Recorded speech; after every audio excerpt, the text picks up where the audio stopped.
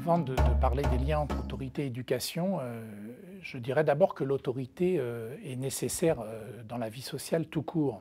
Elle est un lien premier qui spécifie l'humain dans ses relations avec les autres. Hein. C'est ce que nous apprend le, pédopsychiatre Daniel Marcelli, qui s'est appuyé sur des recherches anthropologiques, paléontologiques, pour indiquer que la relation d'autorité était un trait évolutif qui avait été sélectionné euh, comme un principe régulateur des relations entre les groupes sociaux, alors dès les, premiers hommes, hein, dès que les premiers hommes se sont constitués en, groupe, euh, et donc euh, un, principe régulateur qui est devenu indispensable à, la survie de l'espèce et à, l'évolution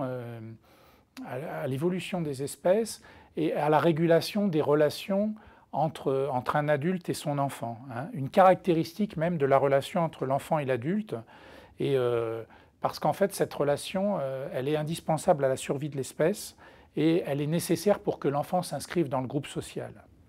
Donc c'est l'idée que ces recherches nous montrent que l'autorité n'est pas un mal en soi, n'est pas quelque chose de mal, un mal nécessaire, mais qu'elle est une condition de, survie de l'espèce et donc qu'elle est une, une nécessité euh, éducative pour que le, petit enfant, le petit homme accède à l'humanité. Hein.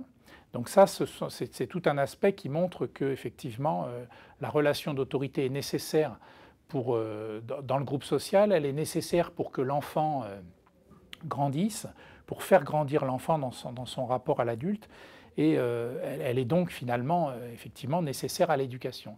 Il y, a un deuxième, il y a une deuxième source de recherche qui, m'a intéressé, c'est le détour par l'étymologie du terme autorité. Si on regarde l'étymologie, notamment les termes octor et augere en latin, on s'aperçoit effectivement que euh, octor, c'est cette autorité qui permet d'être auteur de soi-même, euh, d'avoir un petit peu de, de, prise sur sa vie, un petit peu de confiance en soi, on va y revenir.